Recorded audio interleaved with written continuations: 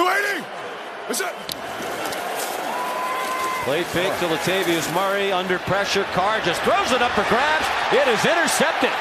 Picked up by A.J. Bouye.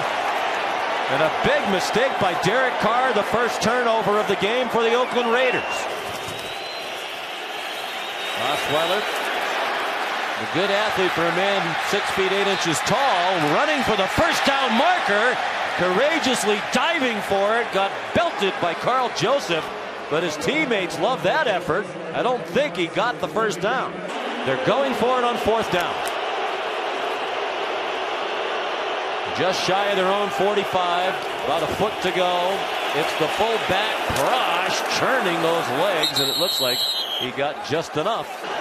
First and goal from the one. Jack Del Rio hot, didn't think the ball was catchable.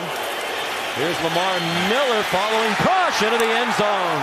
Touchdown Houston, and the Texans reclaim the lead. Get a sudden change, a mistake by Derek Carr you capitalize. And I go back to Bill O'Brien going for it on fourth and one. Su'a-Filo, Kendall Lamm, Duane Brown are going to run left. Good surge, good reach block by Su'a-Filo and Lamar Miller puts Houston out front.